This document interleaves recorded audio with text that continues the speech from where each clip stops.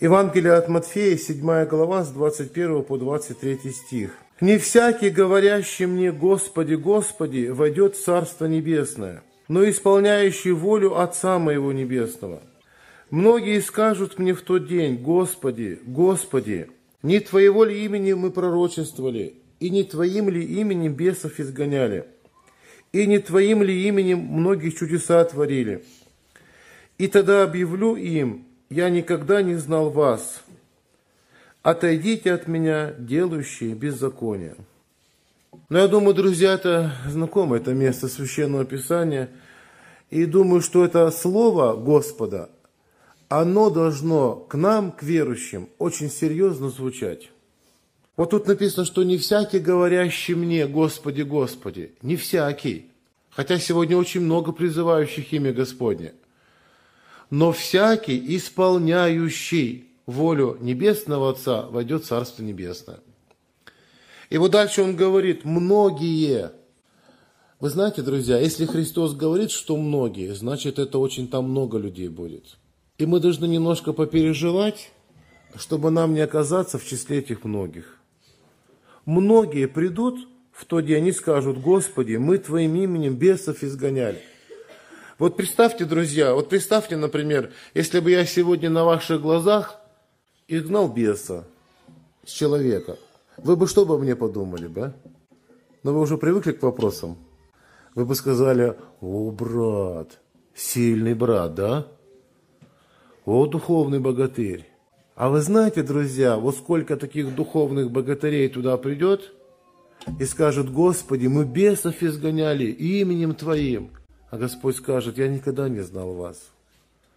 Отойдите от меня, все делающие беззаконие. И вы знаете, друзья, скоро уже Господь придет за церковью, скоро. И написано немного и очень немного, и грядущий придет и не умедлит. Евреям мы читаем 10 глава. И вот нам бы с вами, чтобы нам как бы иметь право войти в город воротами. А для этого нужно исполнять волю Божью. А чтобы ее исполнять, волю Божью, нужно знать ее. Что Бог хочет от меня? Есть вот такое слово, мы читаем, это первое послание фессалоникийцам. Я вам нового ничего не скажу, просто почитаю места Священного Писания. Первое послание фессалоникийцам, 5 глава, с 15 стиха. Написано так. «Смотрите, чтобы кто кому не воздавал злом за зло, но всегда ищите добра и друг другу, и всем. Всегда радуйтесь, за все благодарите, а непрестанно молитесь, за все благодарите, ибо такова о вас воля Божья во Христе Иисусе. Вы знаете, вот я думаю, вот пришли бы эти люди многие и сказали, Господи, мы же всегда радовались, мы непрестанно молились, мы за все благодарили. Если бы они так сказали, они бы никогда не услышали голос Господа, очень грозный голос, отойдите от меня, все делающие беззаконие. Но, к сожалению, они все попутали в жизни, попутали. Они думали, если бесов изгоняют, там чудеса творят, значит, достойно войти в небесное царство, исполняет волю Божью. Не так, Господь, не такой мерой Он все это мерит. А Он говорит, если хотите волю Божию творить, пожалуйста, ищите добра ближнему. Мы сегодня слышали уже, что вера есть действующая любовью, она в нас должна быть. Потом дальше написано, всегда радуйтесь, непрестанно молитесь, за все благодарите. Скажите, братья и сестры, у вас получается творить волю Божью или нет? У меня не получается. Не получается. Я знаю, что это воля Божья. Написано, не воздавайте злом за зло. А иногда нас кто-то обидит или огорчит. И мы с вами так легко можем обижаться, а еще так говорим, смотри, Бог за меня тебя отомстит обязательно. Он воздаст за меня. Не мстите за себя, возлюбленные, но дайте место гневу Божьему, мне отомщение, я воздам, говорит Господь. А мы вроде как бы не воздаем, ну смотри, подожди ему, и ждем, когда же Бог этого брата все-таки уже накажет, а, за меня, или вразумлять его, когда он начнет. Вы знаете, друзья, если мы этого ждем и думаем, мы не творим волю Божью. Нет, надо злом, зло побеждать добром. А ведь, знаете, мы же с вами по природе-то злые люди, оказывается. Или вы добренький чересчур? А? Я так не думаю. Знаете почему? Потому что в Священном Писании написано, и вот Христос в свое время говорит, Матфея 7 глава, есть ли среди вас такой человек? Какой? А вот когда сын попросит у него хлеба, подал бы ему камень. Или когда попросит рыбу, подал бы ему змею. И он как бы вопрос задает. И не, не дожидаясь ответа, он говорит так. Итак, если вы, будучи злы, вот получайте пилюльку, братья и сестры, получайте. Да ведь вы, будучи злы, ничего себе. Господь нас видит злыми еще, злыми. Но вы умеете даяние доброе давать детям, тем более Отец ваш Небесный даст благо просящим у Него. Итак, как хотите, чтобы с вами поступали люди, так и вы поступайте с ними. Не воздавайте злом, но ищите добра. Я, знаете, друзья, вот у меня там на севере была собака, и я ее привязал на цепь. Она очень злая была. Можно было писать там «Осторожно, во дворе злая собака», «Не подходите, смотрите, а то это очень все опасно». Потом я ее выпустил. В общем, ее все, что она не на цепи. Как вы думаете, она злая стала или нет? А? Нет, она никого не кусает, оказывается. Она ни за кем не гоняется. А на цепи она такая злая прямо. И вы знаете, друзья, когда мы с вами находимся на какой-то цепи, мы с вами очень злые. Собака бывает кусачей только от жизни собачьей. Понимаете, да? И вот когда, вот представьте, например, я чувствую, меня какое-то зло, такое подходит зло. Вот прямо зла нет на тебя, ничего себе. И не хватает еще зла, да, на тебя. Зла, говорит, на тебя не хватает. Это значит, где-то мы привязаны к чему-то. Это где-то надо обратить свое внимание, может, на себя, вникнуть в себя, вникнуть. А может, где-то осудить и раскаяться в чем-то. Раз зла не хватает еще на тебя, да? И так, если вы, будучи злы, братья и сестры, так бы хорошо, если бы мы с вами могли поступать так, как поступает Иисус Христос. А он написано, ругательством на ругательство не отвечал, да, написано. Он, страдая, не угрожал. И он оставил нам пример, чтобы мы шли по следам его, Петр говорит. Если наше отношение к ближнему будет правильным, значит, мы творим волю Божью. Значит, это хорошо. А дальше написано, друзья, всегда радуйтесь. Вот я, когда сегодня в собрание пришел, и вы приходили, вот одна сестричка пришла, вторая, там братья начали подходить. И вот я думаю, интересно, радуются братья и сестры сегодня или не радуются? И знаете, какие я выводы сделал? У вас большой дефицит радости. У вас, у вас здесь дефицитов нету, да, в Германии? Но вот в христианской жизни у вас дефицит радости. И радости не просто какой-то показной, нет. Петр говорит, что надо радоваться радостью неизреченную и преславную. Радость ваша была совершенна, Христос говорит, Иоанна 15 глава. И вот написано, всегда радуйтесь. А вы знаете сегодня, как мало радующихся людей? Очень мало. Почему-то не радуются. 70 учеников возвратились с радостью – и говорят, бесы повинуются нам. Вот они так и думали в небесное царство войти, что бесы им повинуются. А Господь говорит, не радуйтесь тому, что бесы повинуются вам, но радуйтесь тому, что имена ваши записаны на небесах. 20 псалом мы читаем второй стих. «Силою Твоей веселится царь, и о спасении Твоем безмерно радуется». Я вот знаете, друзья, когда я перестаю радоваться тому, что мое имя записано на небесах. Мне хочется раскаиваться в этом, потому что я волю Божию не творю. Вот утром проснулся, Господи, мое имя записано на небесах. Вечером ложусь спать, радуюсь. Чему? Мое имя записано на небесах. А вот смотришь сегодня, друзья, среди христиан, практически это, этому уже не радуется. Это же печальное состояние. Написано, всегда радуйтесь.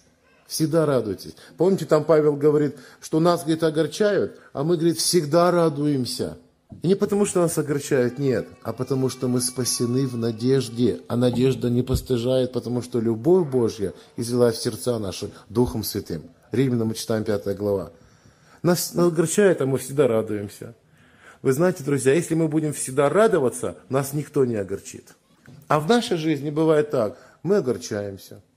А огорчение, друзья, ведет к братоубийству. Каин огорчился, потом пошел, Авеля убил, да? И он, и он так сказать, это, говорит, жить не хочу больше. Чего ты так огорчился? Огорчился даже до смерти. Вот смотришь на иногда верующий, говорит, я уже жить просто не хочу. А чего? Огорчился. Потому что не научился радоваться. Радоваться не научился. Вот в свое время Анну тоже соперница побуждала, побуждала к ропоту. И огорчала, написано ее. А та плакала, но не огорчалась. Она не огорчалась. Вы знаете, друзья, вот сколько проблем в церквах бывает. Элементарно огорчаемся друг на друга. Огорчение. огорчение ведет к печальным последствиям. Вы знаете, друзья, чтобы не огорчаться, нужно просто всегда радоваться. Радоваться, что мое имя записано на небесах. Дальше написано, друзья, непрестанно молитесь. Скажите, получается в этом исполнить волю Божью или нет? У меня тоже не получается. Чтобы непрестанно молиться. Молитве будьте постоянны, в другом месте написано. Я вот так размышлял, думаю, Господи, вот как мне в этом исполнить волю Твою? И как-то вот на сердце мысль легла, надо думать постоянно о Боге. Постоянно. О горнем помышляйте, а не о земном. Вот если я постоянно думаю о Боге, тогда у меня есть желание всегда помолиться Ему. Есть возможность преклонить колено? Преклоню. Нету? Все равно буду молиться к Нему. А мы, бывает, знаете, друзья верующие, утром проснулись, помолились немножко, побежали, заботы житейские, суета, сует, томление духа, и бегаем, и бегаем, и к вечеру только вспомнили, есть же Бог на свете, о котором я целый день даже не думала. И вот Павел говорит, я, говорит, умоляю и Фондию, и как назовут брать там, стихи, не помню, как зовут сестер, да? Да, да. Умоляю, говорит, мыслить тоже о Господе. Он же не зря их умоляет. Если хочешь, чтобы у тебя было молитвенное состояние, размышляй всегда о Боге. Думай о Боге, думай. Непрестанно молитесь. За все благодарите. А в этом, друзья, тоже, наверное, не всегда получается творить волю Божью. Всегда и за все благодарите.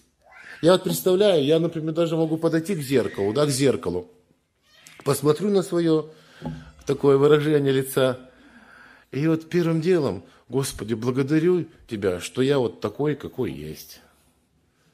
Да? А иногда вот мы подходим к зеркалу, особенно молодежь, ой, какой у меня большой нос, какие у меня узкие глазки, и бывает, ну как бы мы даже не можем поблагодарить за то, что мы дивно устроены, и наша душа не вполне сознает это. А, а уж за что мы будем-то благодарить Бога? Я, знаете, друзья, вот, ну, меня тоже огорчали, да? Я тоже огорчался иногда. Огорчался иногда. Я не хочу огорчаться. Я хочу всегда радоваться. Хочу.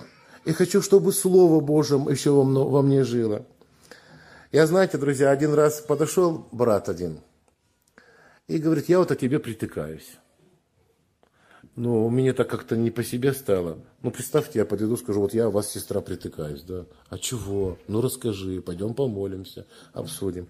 Ну, я его тоже в сторону. Говорю, ну, ты скажи, что ты за меня притыкаешься-то? А он, знаете, мне еще говорит, хороший брат, очень хороший. Он говорит, я притыкаюсь, что ты такой жирный. Вот ты такой толстый, жирный. Я вот всегда представляю служителя, он должен быть такой худенький. Это человек изнеможденный в постах, как у нас там Николай Абрамович Крекер был раньше ответственный за Уральское объединение в нашем братстве. А ты какой-то непонятный что. И вы знаете, друзья, вот как вы думаете, вот вы бы огорчились или нет, а? а? И я так хотел обидеться сильно, хотел. А потом отошел в сторону и думаю, м-м, Коленька, говорю, прости меня, что я такой толстый. Я постараюсь исправиться. Ты меня прости, Коля, прости. Как-то, знаете, я знаю, что Бог смирен дает благодать. Много раз убеждался в этом, смиренным. А мне такая мысль, прочитай Даниила ему. И вот я открываю книгу пророка Даниила, и там про отроков, помните написано, про отроков, да? По истечении какого-то времени они были приведены к царю, и написано, лицом они были красивше всех, а телом было полнее всех. Я говорю, ты знаешь, Коленька, оказывается, полнота – это благословение святости. А он мне говорит, да прости, я сам не знаю, что я творю, что я говорю. Вы знаете, друзья, вот мы можем на ровном месте, да, огорчаться. Нас могут же огорчать. Но надо всегда радоваться. И важно, друзья, чтобы Слово Божие еще пребывало в нас. А почему этот пример вспомнил? Написано «за все благодарить». Я вам один пример еще скажу, мы помолимся еще. Но мне приходится совершать служение в тундре. Долго приходилось совершать среди немцев, хантов. На севере 15 лет я прожил с семьей. И вот однажды мы идем в тундре. Тундра, болото, такая местность, ну, очень тяжело ходить. И вот мы идем, и идет со мной брат Заур, азербайджанец. Мы идем вдвоем, а я иду и не могу уже. Машка стоит стеной, жара такая, пот, не могу уже. Я говорю, Заур, давай передохнем, уже больше не могу, устал уже все. Ну давайте. В общем, присели мы тут прямо на качкарник в тундре. Я говорю, слушай, Заур, ты слышал, как тебе имя дали, нет? Там, в тундре. А ненцы, друзья, они дают два имени всегда. У них у самих два имени, и они нашим русским братьям по два имени дают. Он говорит, слышал. И я говорю, я тоже слышал. Мне знаете, какое имя они дали? Ну, по-ненецки это так, не, не по-немецки, а по-ненецки. Вы будьте бдительны, внимательны. Где такое имя дали? Мебета Таева Петта. По-ненецки. То есть это переводится на русский «сильный таскать».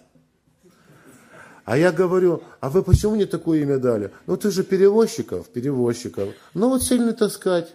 Ты нас таскаешь, вот и тащишь нас туда, до тихой пристани, до славной вечности с Богом. Они так и рассуждали.